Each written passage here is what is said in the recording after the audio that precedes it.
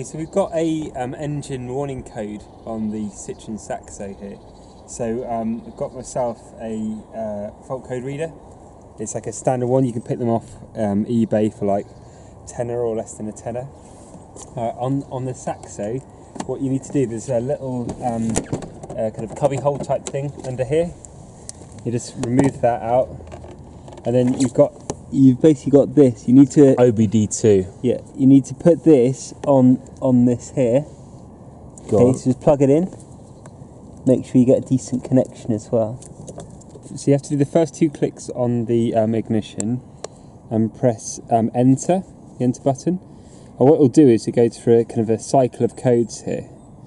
So it'll um, it's just kind of literally skipping through all of the different codes. Um, and what it can say there is it says DC, DTC, and there was one basically. This means there's one error on that previous screen. So you click enter, and it goes fault one, and then you can see it says that you click enter again, and it says P0420. So each of these codes are standard codes, and so you just look um, in the book. It gives you a, a book. We're looking for P420, which is catalyst efficiency below threshold bank one. So that means most probably the catalyst needs to be changed. And that's basically how you use them. If you've got more than one fault, you can cycle through and press enter again, and you'll get through it. And there's also functionality to actually clear the code as well, and that's all explained in the book as well. Okay, so here are the parts that we have for the uh, new um, cat. Uh, so this is the catalyst converter itself for the VTR, the Saxo. Uh, brand new. Uh, one thing that happens is when we try to take off the cap is um, one of these uh, nuts on here. Um, basically, as we took it off, it stripped the thread halfway up the bolt, which is kind of strange to happen, but I think it was just so corroded. So I bought a new manifold, 15 quid from eBay from some second-hand car, A, a new old one. a new old one, and then um, came with this gasket that's obviously toast. So we had um, all of these gone to the shop, got some uh, new gaskets. So this is the one from there, and I'll talk you through the uh, part numbers as we as we put them on. But there's a whole raft of fixtures and fittings, but this is one of the key ones you want to get right because that's going to seal from the this is the bottom of the manifold here to the um, top of the cat essentially. So now we just need to go about um, taking our thing off. One thing I'm going to do is uh, is clean up this surface because you want this gasket to make nicely. So one thing I'm going to do is just come in and uh, with a knife here and just scrape off all the old bits of gasket. Just go around the whole of it, and uh, some of it's better than than others. Just go around like that, and then just make sure it's a nice surface. Underneath the car, you can see here's the um, four bolts one, two, and then the other side, there's one up there, three, four, all uh, below the cat. So just unwinding them. And then I'm going to need to uh, undo these two bolts here, and then uh, we should be able to take the cat off. But I know we're not going to take the cat off fully because one of these bolts up here. Uh, the thread stripped, so I'm probably going to probably leave it on one bolt, but at least that will mean I can move the cat around a bit and maybe have an easier time taking it off. So I'm just going to work on those other bolts. Um, I'm also going to undo this, which is a 22 mil, um, which is the secondary lambda sensor, and then uh, I'm going to work on the top of the car afterwards. It's worth saying that these two, uh, there's two 11 mil bolts here and here. Once you take them off, you can take out the little heat shield which uh, guards the uh, oil filter. So, uh, and then it leaves two 13 mil bolts, and the rest of them are all 13 mil bolts. So, if you don't have the heat shield in place, then you probably just notice it's just 13 mil. The manifold off, you need to remove the heat shield. Now, this is probably rusted bolts on as I'm finding here. I think they're meant to be 10 mil, but these are so corroded they're um, going down to 9. So, the idea behind it is you just get a uh, single hex socket, whack it on with um, a hammer, and then um, you can go about trying to loosen it off. It's coming out now. Um,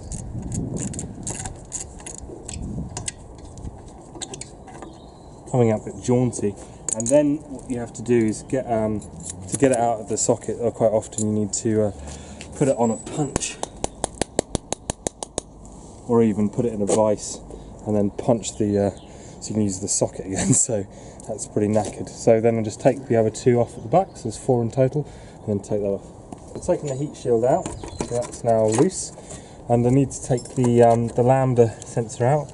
Um, usually you would just um, undo this maybe, and if you I don't know, you might not be able to get over. But you'd usually try and use the full ring, but here you can't really. So you have to kind of get as low as possible to it, and then just break it off.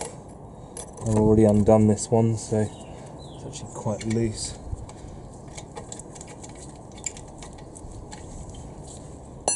I mean, usually, if all the bolts were playing fair, then you wouldn't even have to take the manifold off. But because of, you know the bolts are all knackered, we have to come to do that. So just put that out of the way. The heat shield's off. And then we can start playing with these manifold bolts. So um, they look like they've been on there since the factory put them on. So I'm going to get some WD-40 to chuck that on there. Usually with uh, bolts that are kind of tired and rusty, um, the problem is trying to get them off. So you always want to use a single hex um, socket, um, and then you want to uh, come in here and say, for example, for this one, you want to try and uh, shock it off.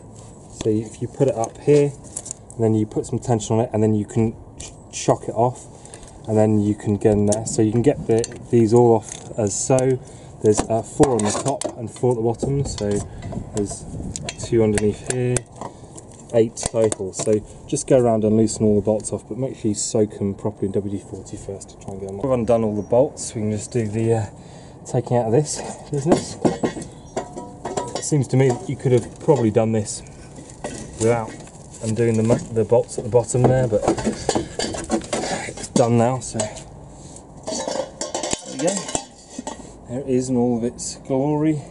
Uh, one thing that I didn't really mention is that I actually had to undo, there's a bolt that goes and holds it to the side of the engine there, and that is uh, this bolt here.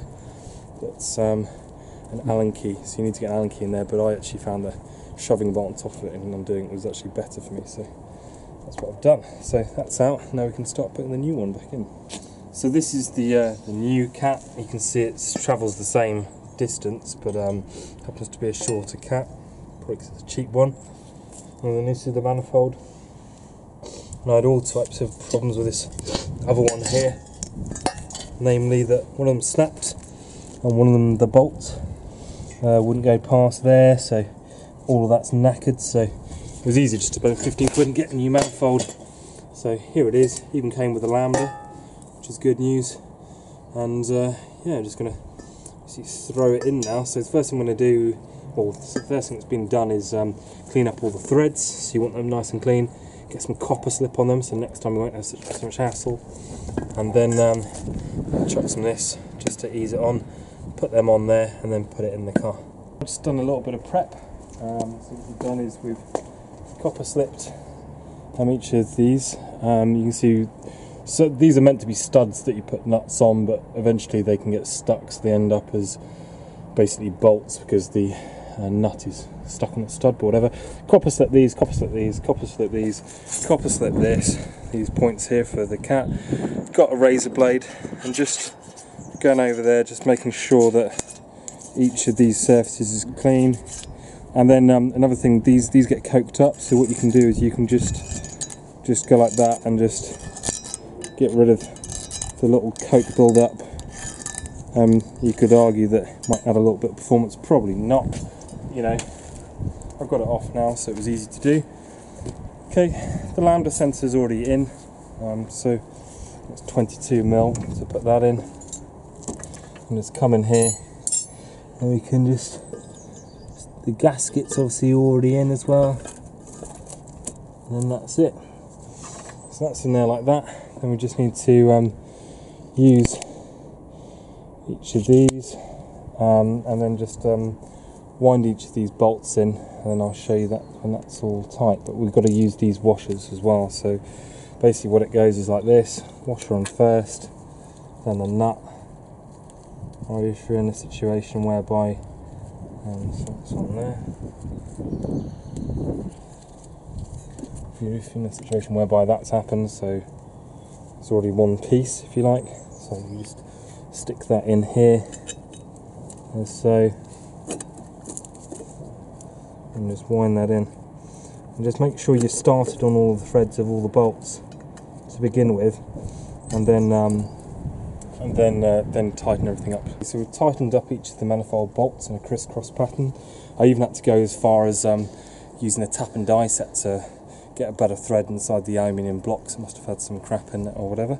Then it's time to put the uh, heat shield on. So uh, wind that in there. As I said, the uh, lambda sensor's already in there. So now like that. Then we can get the little bolts and we'll just grab a little bit of copper slip, put them in there, and there's one, two, three, four uh, little bolts. To just screw them in. So fitting the new lambda to the loom is really easy. Just putting it in there, like this, and then do that. So now it's time to fit the um, cat, and with the new, this is the uh, Euro car parts part. It's probably not the Peugeot part, so uh, or Citroen part. Okay take this off here. So, grab that. Okay, and then, um, right, so now we're ready to go underneath the car, fit this thing up. So this one needs to go on first, so I'll probably have to just put that up here, as so. Get that on. Get someone to hold it for you. Let me grab Annie to hold it for you. And then uh, grab the cat. and shove it on. Okay, and then put the four bolts in.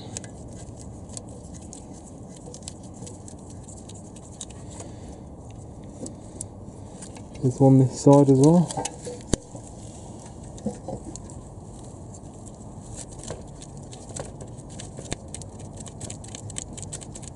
Okay, you leave a little bit of slack on there.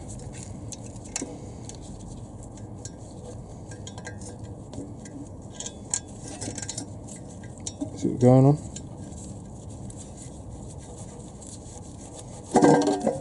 And uh, I might be best placed to do the last one. Last one's out here. You can see just up in here. Bit of a squeeze.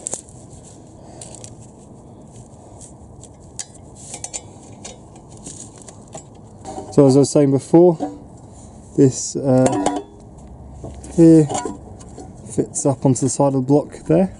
This little Allen bolt, which looks like this. And you just thread that up into into this bolt hole here. Won't be able to do that with uh, one hand though, so I'll pass over the camera. Bolt, and this is my setup. I've got the um, Allen in the side, and I've got the uh, the ratchet spanner so uh, it's going to be impossible to show you that, but that's how I'm going to go about getting this uh, side mount in.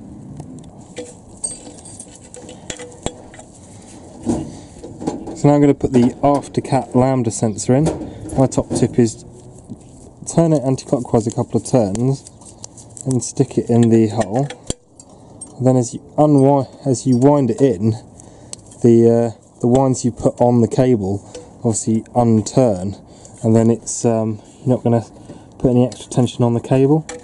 So just place it in here.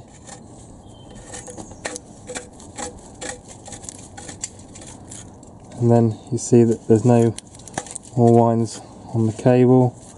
The cable's uh, straight. And then just grab the 22 you've got. The lambda's always 22 it seems. Just do that like like so.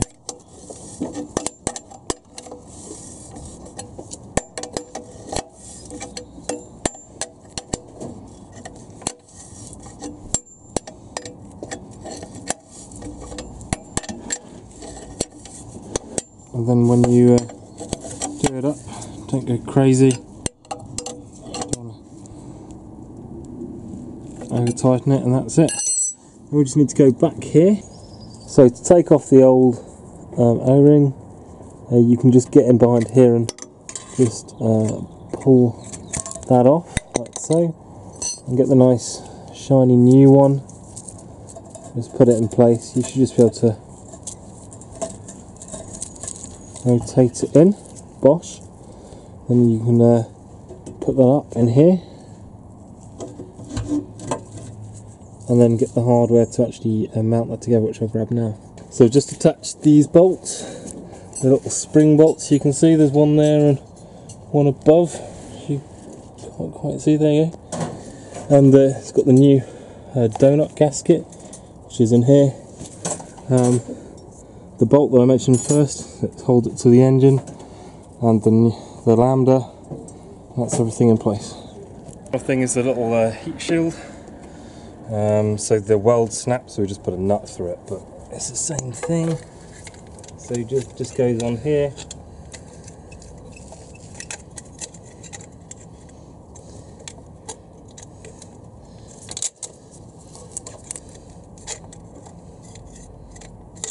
Can't see what I'm doing.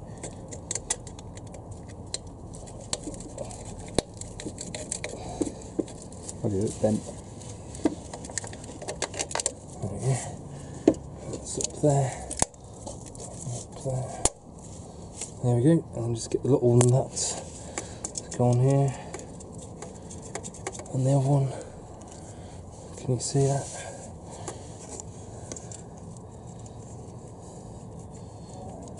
Tighten them up.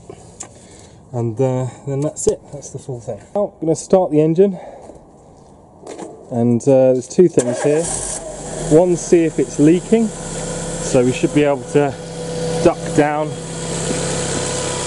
I mean, you'd hear it leaking probably from the manifold, but duck down, have a look there, see if it's leaking out here. Another thing you can do. Go on. Right, and, and is the code clear? No, no, no. So the code's not clear, what you need to do, so we'll clear the code. yeah, it's on two clicks. Yeah, Then you press enter. yeah. It finds its protocol. So it'll just do its reading first. So it's got one error. Yeah, Press enter. Press enter again. that's just the same Okay, one. that's the same. Press enter. So that's the one. Is it- It's the code for it's the same one. Then Then it scroll down to the second. raise. So you press scroll to go down to the second option. Click erase, and then it is Yeah. uh, enter for yes. Erase done. Okay. Okay. So now pull that out. to- Okay. we'll just start it. It's good to me. It's gone. Okay, but then we just uh, obviously driving it will be the Yeah. the proof of the pudding. But, But basically, what happened last time is I got rid of the error code without doing anything mechanical to the car, and it went for a bit of time, and then it came back on. So we'll do a little drive and see if it still appears. Okay.